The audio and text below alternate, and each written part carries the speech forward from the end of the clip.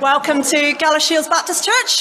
Uh, if you're visiting us for the first time, a special welcome. Please do stay at the end and join us for tea and coffee so we can uh, get to know you a little better. And welcome to those on Zoom and also to those who will be watching on YouTube later in the week. Hello, um, my name's Rona. I'm one of the deacons here. We're starting today a new series on worship. So we all have our own preconceptions of what worship is. So let's just start with some worship without further ado.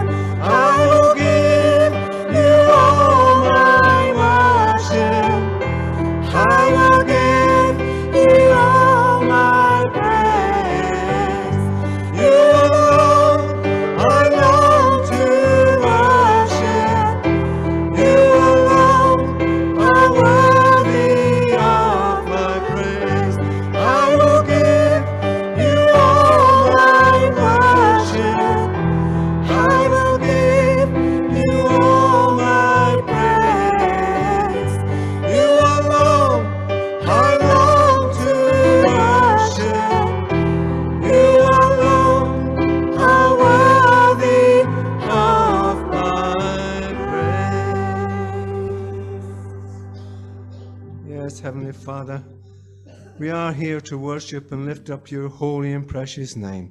For there is no other name but the name of Jesus.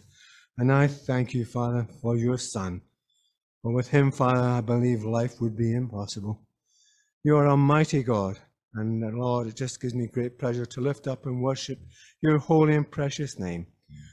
Let our words and our songs be a sweet sound in your ear this morning, Father. And let your Holy Spirit move amongst us now. I pray in Jesus' name. Amen. Amen. Take a seat, everyone. So that's probably what most of you think worship is, isn't it? It's standing in church singing rousing songs, praising the Lord. But I'm sure that there are a few of you that have a completely different idea of what worship is. And I wonder if some of you might share that. Now, I have the microphone, or if it's only short, then shout it out and I'll repeat it back so that those on Zoom and those that need it will, will hear it over the microphone. So I think Euan's going to go into this in more detail later. Maybe he'll correct some myths or maybe he'll take some of the things that you say. I don't know. But what do you think worship is? Give me some ideas. Serving other people. not the same as praise, but there's some overlap. Not the same as praise, although there is some overlap. Okay. Anyone else? drawing near to God and listening to what He has to say. Drawing near to God and listening to what He says. Being in His presence. Rare? Or prayer. I was going to say, I hope it's not rare.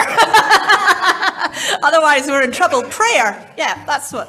I think it's living our whole life um, in a way that honours God. So, living our whole life in a way that honours God. Anyone else?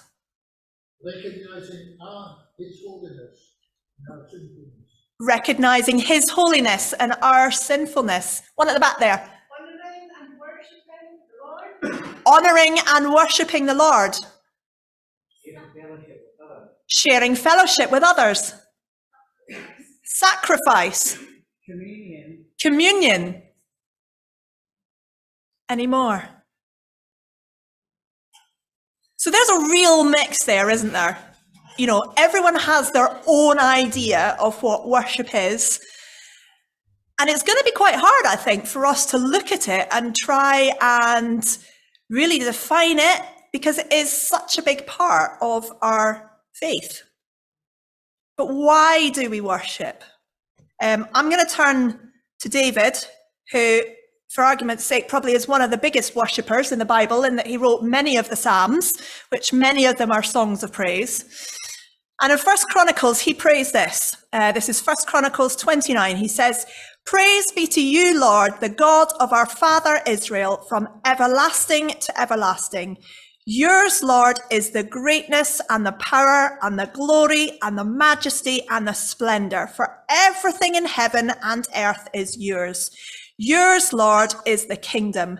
You are exalted as head over all. Wealth and honor come from you. You are the ruler of all things, and in your hands are strength and power to exalt and give strength to all. Now, our God, we give you thanks and praise your glorious name. Isn't that a great summing up of why we should worship God? And we're going to continue to do that now. And as I say, over the next four weeks, we're going to be looking at worship in the same way that we looked at prayer this time last year and examining it and seeing what we do and what other people do and what we can do differently. So let's go back a few years and let's worship God by singing a traditional hymn, which for many people is a form of worship. There are all kinds of different songs of praise, and we're going to try and delve into some of them over the coming weeks. As a musician, of course, music's very important to me. That's my way of worship. That's what I think of as worship. So let's all stand and sing together one of the great hymns, Be Thou My Vision.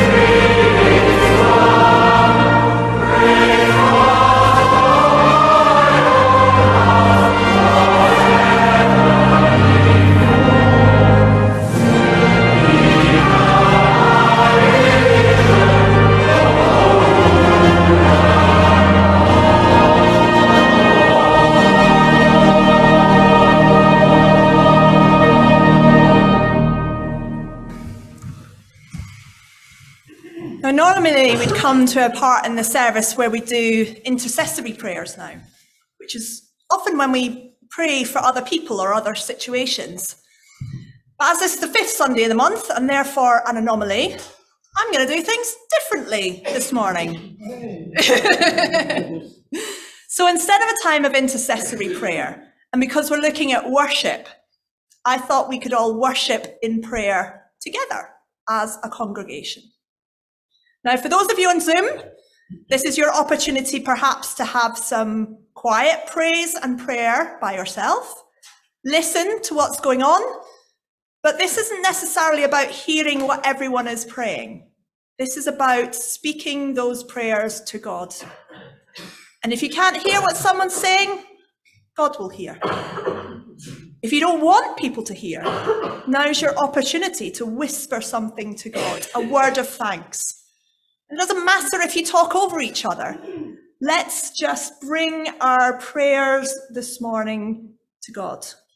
So, by all means, shout them loud as you like or keep them in your head. But let's have a time of all praying and praising God together. Let's be thankful for what God has given us.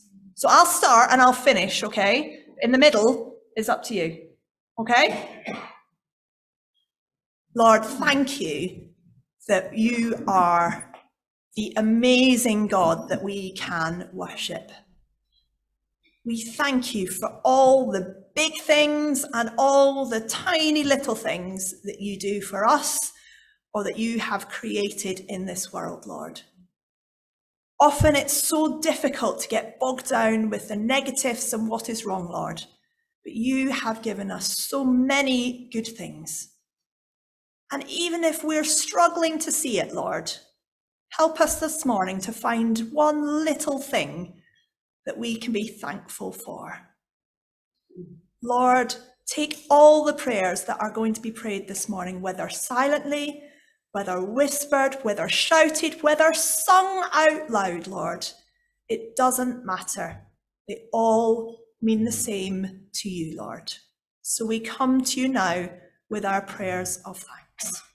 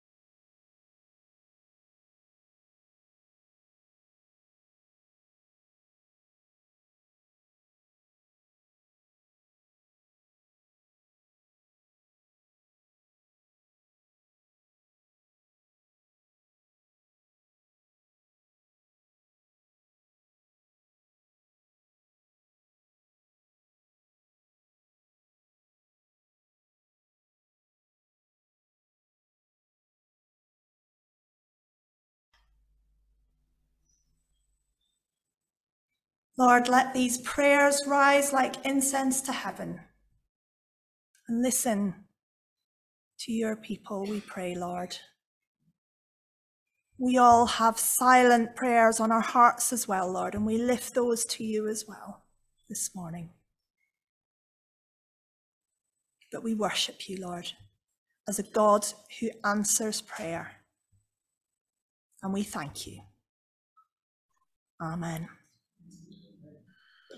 Now, in this quiet of prayerfulness, let's stay seated as we sing the next song. You don't need to sing it. Sometimes worship is about listening and letting things wash over. So if you want to sing, sing. If you want to sit silent, sit silent. This is what we're looking to do is look at what worship is. Try new things. So let's come to God in worship again.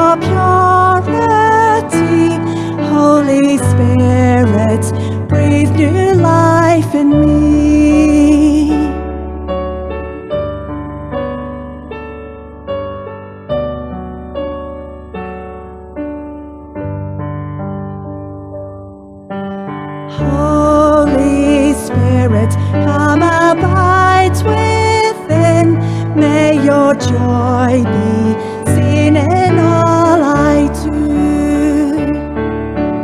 Love enough to cover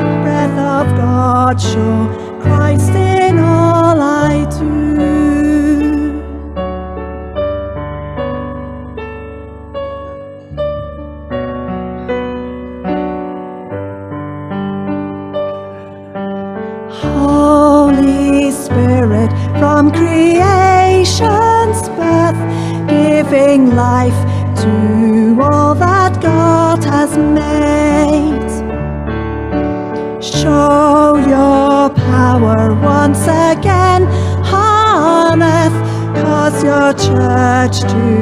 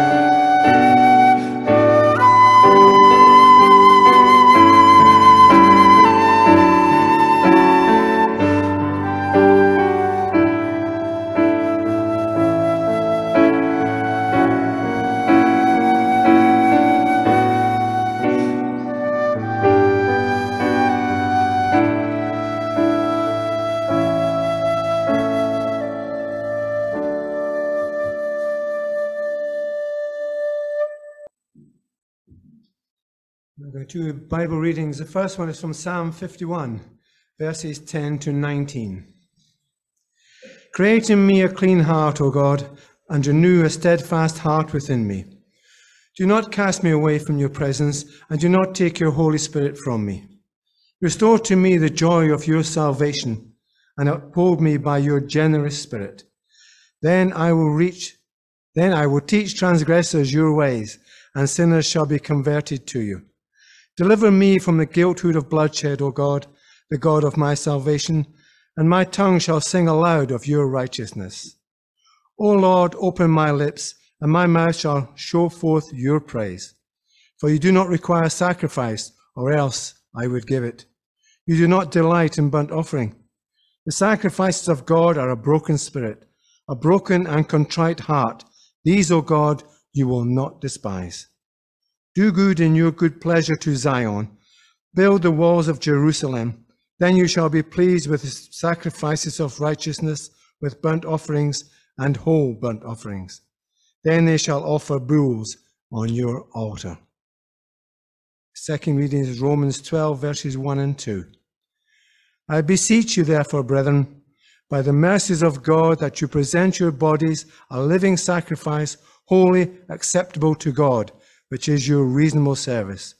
And do not be confronted to the conformed to this world, but be transformed by the renewing of your mind, that you may prove what is good and acceptable to the perfect will of God.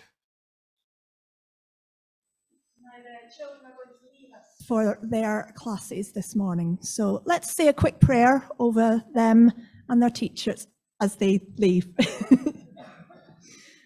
Lord, thank you for the children and the young people amongst us. Bless this time this morning as they learn more about you. Give wisdom and the words to say to those that are teaching them, Lord, and be with them this morning. And we also pray for you, and as he comes now to bring us your word this morning, that you would also put your words on his lips and that he may speak to us anew this morning. Amen.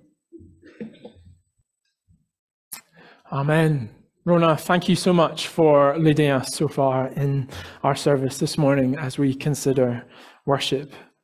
And thank you to all of you as well for your participation in the service so far, contributing and shouting out um, prayers and shouting out what is worship as well. As we come to God's word this morning, let's just take a moment to still our hearts and come before Him.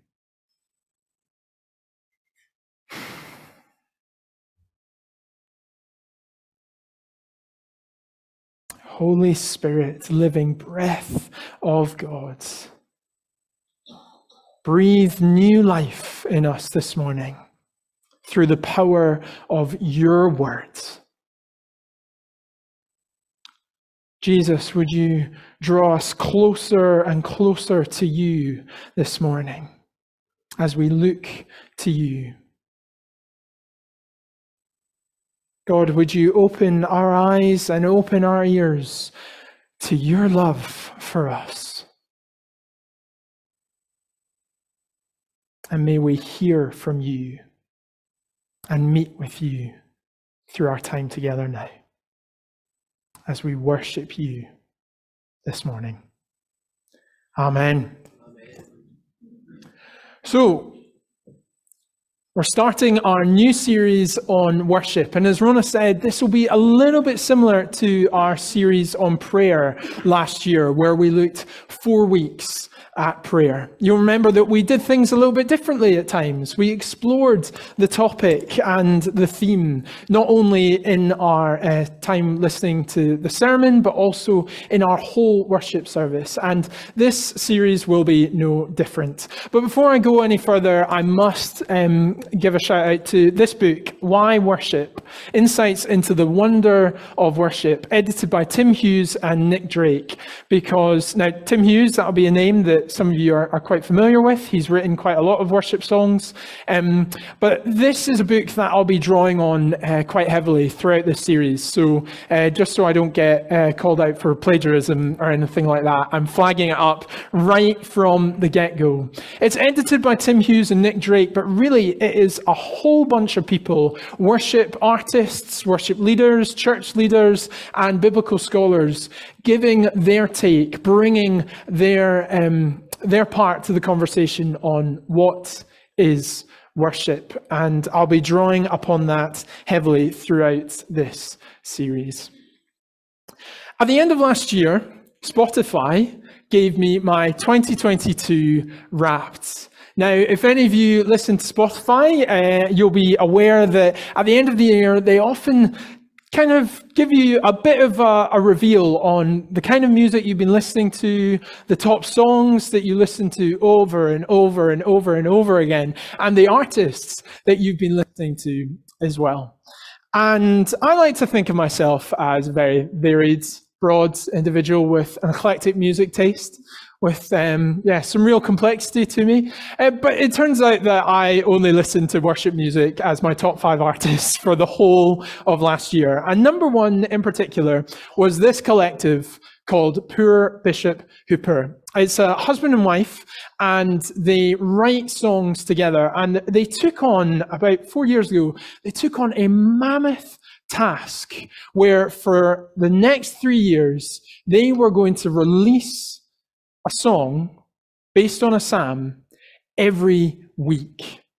Every week on Wednesday, they would release their next song on their Every Psalm project. They actually got to 171 songs by the end of the project, which finished uh, towards the end of last year, because for Psalm 119, which, if you know, is absolutely huge, they had about 20 um, songs per um, one for each section of that psalm as well. So you can imagine a huge project. And that was what I spent a lot of time last year listening to, not least because I read through the Psalms. And it was great after I'd read a Psalm to just go to this playlist and to listen to their take on it. It's reflective, um, it's, it's just uh, quite stripped back as well. It's not big choral music, and it's quite varied actually. So I would recommend the Every Psalm project to you. But as I say, most of my um, worship last year was music. But as we've already flagged up, worship is not just music. So the question I asked this morning is what kind of worship? What kind of worship do you like? That's one question we could consider. But I think first we need to ask ourselves what kind of worship does God like? What kind of worship does God look for? Throughout why worship, these verses from Romans 12, verse 1 to 2, pop up time and time again. You could say they're kind of the theme verses for the book. And this morning I want us to focus especially on Romans 12, verse 1. Therefore, I urge you, brothers and sisters, in view of God's mercy, to offer your bodies as a living sacrifice, holy and pleasing to God. This is your true and proper worship. I know that we all like to memorize John 3:16, but if there was another verse I could encourage you to memorize, it would be this one. Because there's so much depth to this verse and the verse after it as well. Starting, do not conform to the pattern of this world. Some of you might even be able to say it and it just trips off the tongue. But there is so much depth to this verse, and you could probably spend the whole series just sitting in this one verse. But don't worry, I'm not going to do that. This morning, instead, I want us to focus on these three words living, holy, and pleasing to God. You see, in the NIV, they translate it as a living sacrifice, holy and pleasing to God. But all three of those words, living, holy, and the phrase pleasing to God, they're all equal with one another. You are to offer your bodies, Paul is saying, as a sacrifice, one which is living, one which is holy, and one which is pleasing to God. So, as we ask the question, what kind of worship is God looking for? We're going to take our cue from Romans 12, verse 1. Worship that is living, holy, and pleasing to God. Now, for Paul's first hearers, for the church in Rome, for them to hear you're to offer your bodies as a living sacrifice was in many ways very familiar. A sacrifice, yep, we know what that's about. If they're um, non Jews uh, in their Roman and um, Greek culture, they would have been familiar with the idea of going to a temple and offering an animal as a sacrifice to please the gods. Of course, it was a bit of a toss up about which gods you chose. You had to choose one. You couldn't try and please them all, and you just had to hope that you'd chosen the right one. Because if you hadn't, who knows what would happen. So, for Paul's non Jewish readers, they would have been familiar with the idea of sacrifice. Same for the Jewish leaders as well. They would have been familiar with the idea of sacrifice as well. You'll remember in um, autumn, we looked at Exodus and the Old Testament and the stories from um, Jewish scriptures which speak and command even God's people to bring animal sacrifice to God's. But an animal sacrifice, though living at the start, I'm afraid wouldn't be living for very long.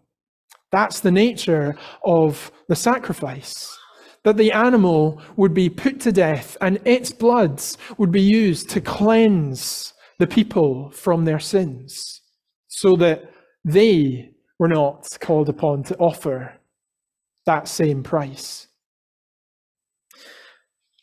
So when Paul says a living sacrifice, and when Paul says to offer yourselves, there's something very new about what Paul is saying to his hearers here. They're familiar with the idea of bringing an animal to cleanse them of their sins in order that God can be in their space, that God can dwell with them and that they can dwell with God. Or as somebody put it earlier, that they can draw near to God. That's familiar. But bringing themselves bringing their bodies as a living sacrifice, not a dead sacrifice, a living sacrifice. That is a vivid image, and that is a very new concept for Paul's hearers. And it's one that should be new for us as we hear it again and again and again. It's one that should spark new life in us because our worship is not to be dead. Our worship is not to just be for a singular time. Our worship is not like a task that we do where we bring an animal to God and then we tick that off and we get on with the rest of our day. No, our worship is a gift. Our worship is a gift that we get to participate in because of what God has done for us. Our worship is a living sacrifice. It is charged with life, with passion. It embodies everything that we are. That's why Paul says to offer your bodies as a living sacrifice. And if you think that's too physical, well, it's accompanied by the next verse by being renewed in your minds should remind us of what Glenn was talking to us last week. Love the Lord your God with all your heart, soul, mind, and strength. Folks, what kind of worship is God looking for? All of life worship. Our whole bodies, our whole minds. That means what we do, how we live. It means what we think, how we speak, how we treat others. It's our emotions, it's our attitudes, it's the way we spend our time, it's the things we watch, and it's even how we sing on a Sunday morning. Not necessarily the quality of it. Don't worry. God's not judging you based on whether you feel like you're a strong singer or not. But it's our attitudes as we come to sung worship. Offer your bodies as a living sacrifice. Worship God with your whole life and worship Him with the passion of new life in Christ.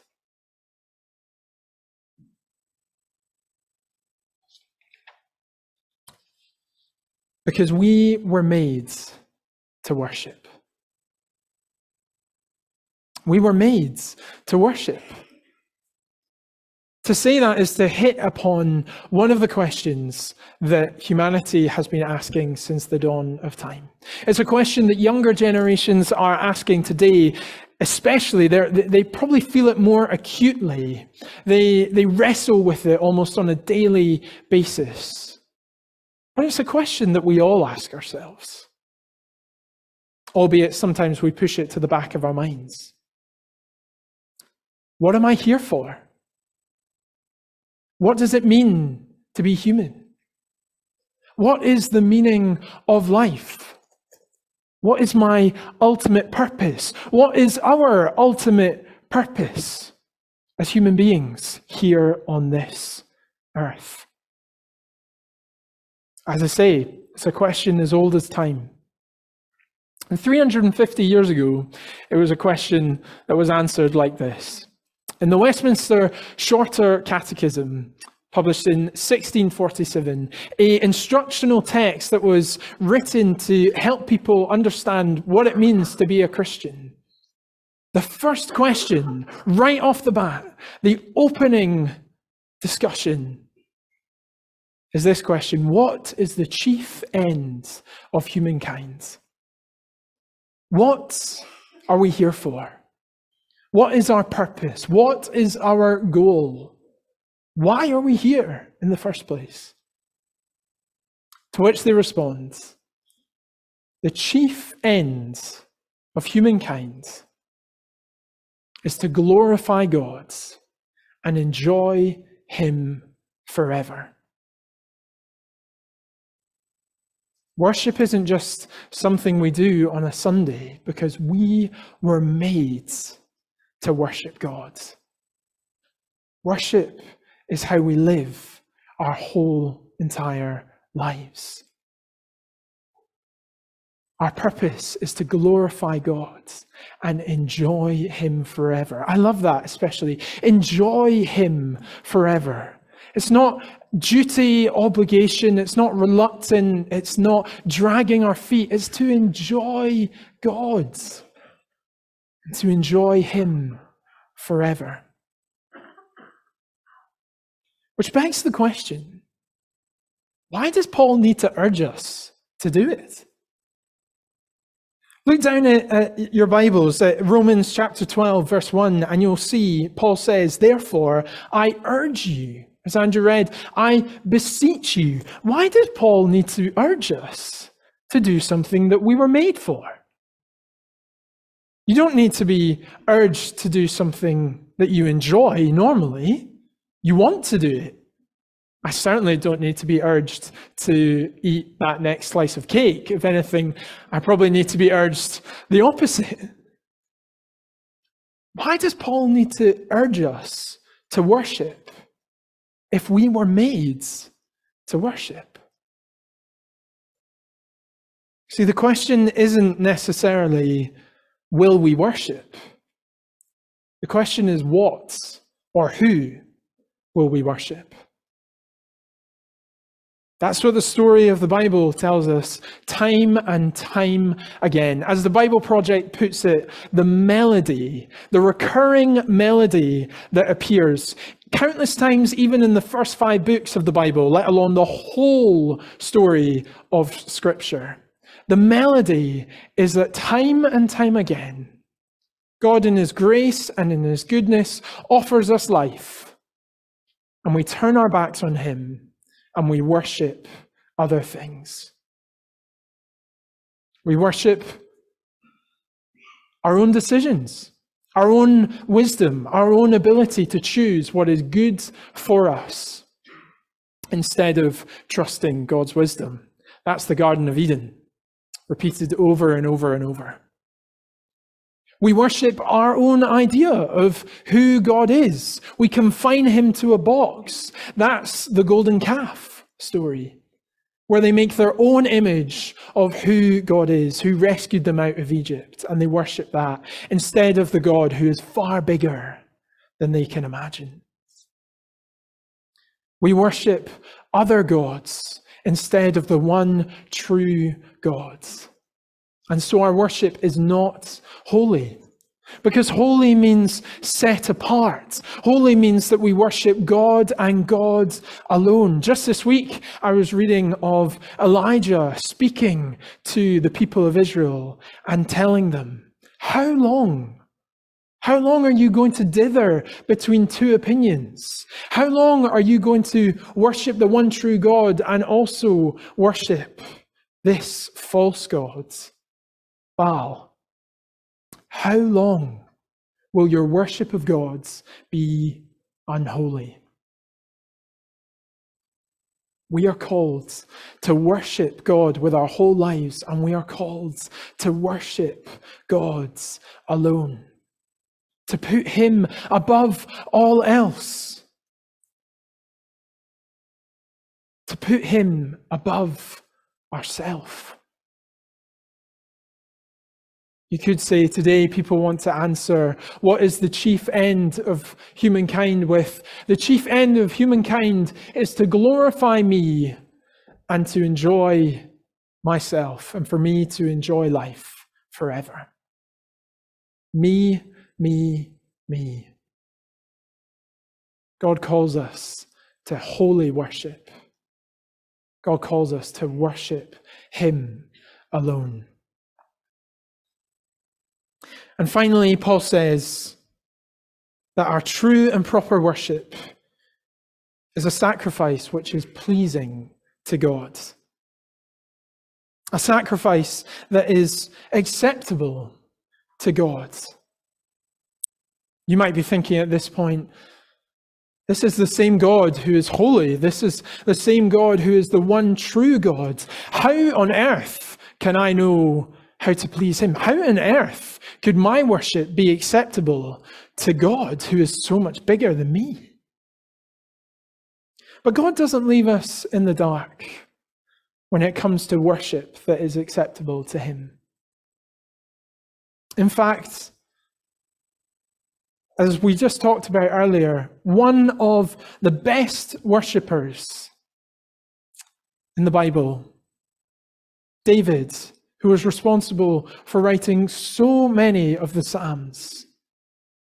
David, on his own journey from sin to repentance, to trusting in God, to renewal in God, he discovered what kind of worship is pleasing to God. Apologies if you can't see that as well. In Psalm 51, verse 10, he says, Create in me a pure heart, O God. Because David knows that his heart has not been pure. He knows that his worship has not been holy. He's worshipped himself, his own entitlement, his own position. He's worshipped in selfishness. He's worshipped by doing what he wants to do, regardless of the costs to others, regardless of what God has to say about it. He knows that he has sinned. He opens Psalm 51 by saying, Have mercy on me, O God, crying out to God for forgiveness. And it's in that journey of coming to God and saying, God, I need you. God, I recognize my burden. God, I bring my burden of sin to you, as we did when we brought that stone to the foot of the cross two weeks ago. It is through that journey of repentance that he discovers in verse 17 My sacrifice, O God, is a broken spirit. A broken and contrite heart, you, God, will not despise. We might think at this point that David's saying that God isn't really interested in sacrifices, which seems a bit strange because there's a whole book of the Bible dedicated to the sacrifices that God wants his people to give him. And yet, in the very next verses, verse 18 and 19, David says, When you restore Jerusalem, then we will offer right sacrifices to you. So he's not saying that God isn't interested in sacrifice whatsoever. He's saying at this point, on David's journey from sin to repentance, to new life, to trusting in God, to having his heart renewed, what God is looking for at this point is not sacrifice. What God is looking for at this point is not ritual. It's not rote. It's not just doing things for the sake of it. What God is looking for is David himself. What God is looking for is David's heart. And folks, what kind of worship is pleasing to God? It is wholehearted worship. It is us giving our whole lives, our whole selves, and above all, giving our hearts to God. That is the state by which we can draw near to God. When we recognize who we are, when we recognize our sin and our brokenness, when we recognize our needs of Him, when we humble ourselves with a broken heart before God.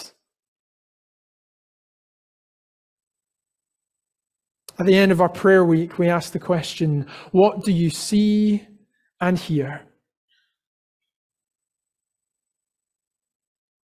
I'm starting to see and hear a recurring theme in our services. For the last four weeks, independently of one another, we've stood up and we've essentially asked the question What is the state of your heart? Galabaptists, I believe that God is calling us to wholehearted worship. To wholehearted worship. That means worshiping Him with our whole hearts in our lives, including worshiping Him with our whole heart on a Sunday morning. Even in the times when we sing and make music to the Lord. A broken and contrite heart, you, God, will not despise.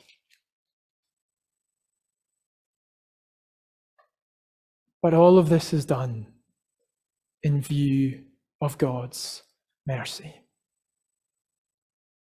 Please don't forget the opening to Paul's words in Romans 12, verse 1.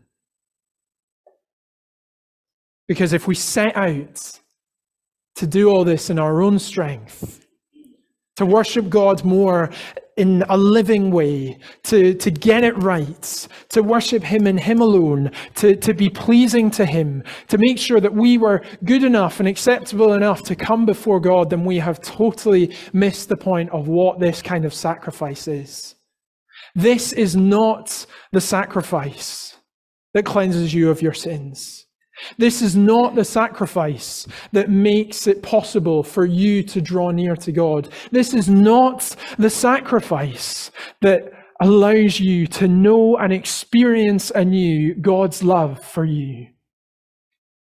God has already offered that sacrifice through his Son, Jesus Christ who has given a sacrifice that is once and for all, so that we don't have to offer animals year in, year out. We don't have to offer imperfect sacrifices because he has given a perfect sacrifice of his blood poured out on the cross for us. Jesus lived a holy and pure and sinless life because we are not capable of doing that. Though we are called to live that way, we will mess up. We will get it wrong in our attitudes, in our emotions, in our actions, in our deeds. We will not always be perfect. In fact, far from it. Jesus has offered that perfect sacrifice. A sacrifice that makes us acceptable and pleasing to God a sacrifice that allows us to come into God's presence, to be welcomed into God's family. This is why Paul doesn't open Romans by saying, Hey, good to see you, church in Rome. Right, first thing, you need to have worship that's living, holy, and pleasing to God. No, Paul has spoken for 11 chapters all about God's mercy, all about God's grace. He's spoken of how you were dead to sin, but you are now alive in Christ. He's spoken of how you have passed through into new life with Christ. You spoke, he's spoken of how Christ being raised from the dead raises us from the dead to new life, eternal life in Him. There is now no condemnation for those who are in Christ Jesus. Hear those words, Galabaptists. There is no condemnation for those who are in Christ Jesus. And there is nothing that can separate you from the love of God. Therefore, in view of God's mercy, offer your bodies as a living sacrifice. Therefore, in view of God's love, respond with wholehearted love and devotion for Him. This is your true and proper worship. one of the most significant moments in Scripture, one of the most significant moments of worship in Scripture, is not a big fancy worship service. It's not lots of singing and dancing. It's not a gathering of thousands of people making a big song and dance. No. It is the act of one woman shortly before Jesus' death. The act of one woman who, with a broken and contrite heart, who, in response to all that Christ has done for her, though we don't know the ins and outs of what that is, but we can only guess from her wholehearted response and devotion, pouring expensive perfume, wiping Jesus' feet with her tears, preparing him for the roads that he is about to travel. That is one of the most significant acts of worship in the Bible. Tommy McNeil, in his book Sleeping Giant, which I know uh, the Thursday night home group are uh, reading together, and I know some of you uh, have read or have been reading as well. He calls the church to worship God both throughout our lives and in our Sunday mornings. And we'll talk about that a bit more in week three of this uh, series. He calls the church to worship God with the attitudes of this woman. I'd like to invite the band up now uh, as we're about to sing our next song, our final song heart of worship. And as you come to worship God this morning, hear these words. As you come to sing to God, to pray to God, to praise God, and maybe even to do business with God, to repent, to honestly tell God in your hearts the sin in your life and the ways in which you have worshipped other things. Hear these words. Imagine being in the presence of Jesus. Imagine hearing him speak to us. Imagine being reminded of his love, experiencing it anew, and being moved to worship Him wholeheartedly. Because in doing so, you are imagining the attitude of heart that remarkable woman of whom Jesus said, generations, for generations, anytime this story is told, what this woman has done will be spoken of. Let's pray.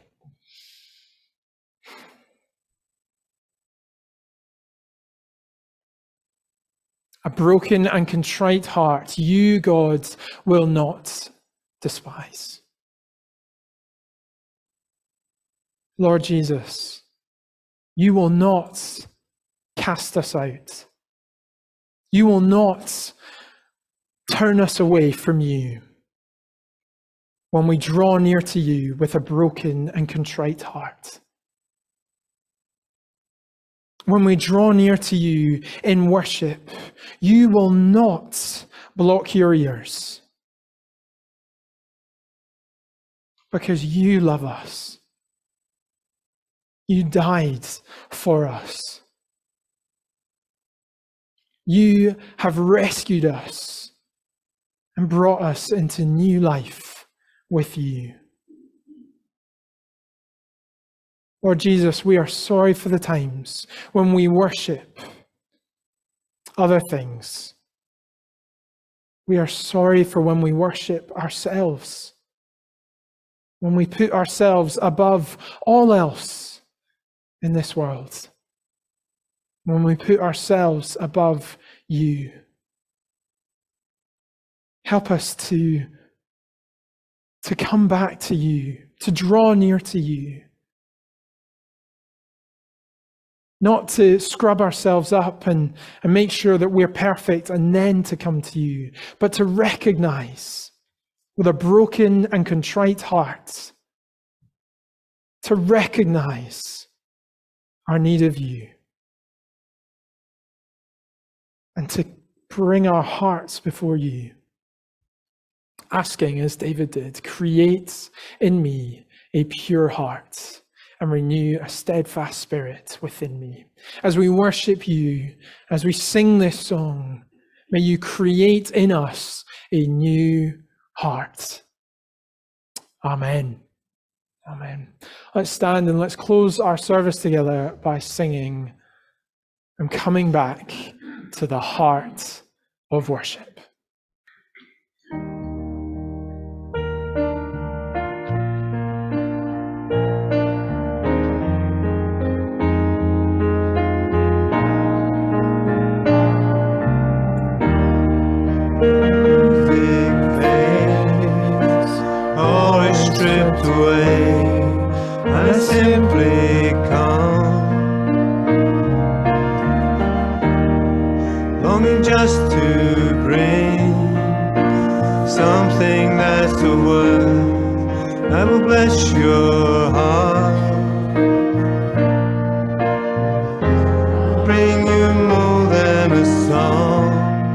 For a song in itself is not what you have required. You search much deeper within to the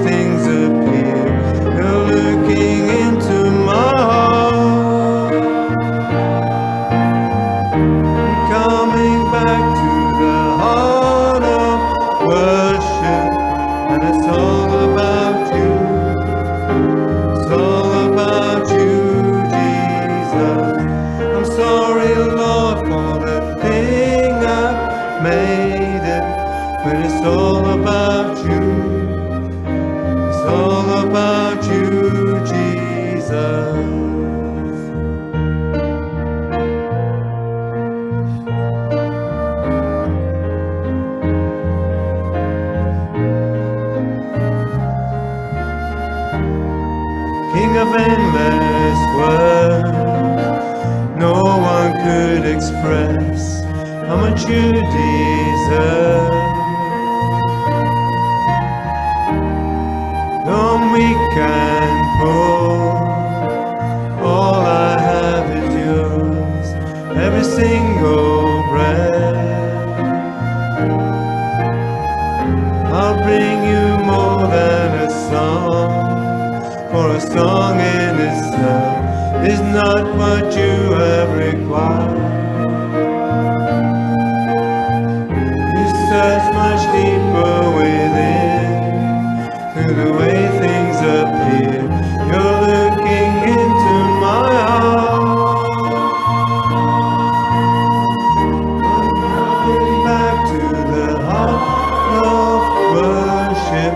and it's all about you.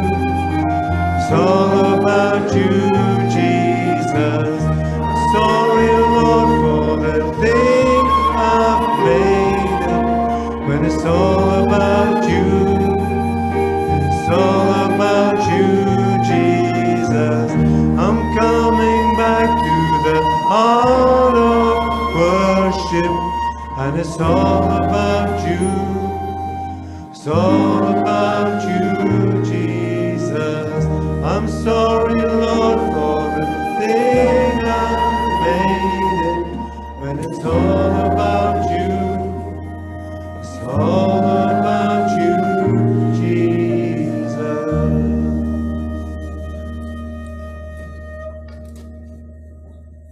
pray you would know the truth of these words in your own life. Create in me a pure heart, O God, and renew a steadfast spirit within me. Do not cast me from your presence or take your Holy Spirit from me. Restore to me the joy of your salvation and grant me a willing spirit to sustain me. Then I will teach transgressors your ways so that sinners will turn back to you. Deliver me from the guilt of bloodshed, O God, you who are God my Saviour, and my tongue will sing of your righteousness.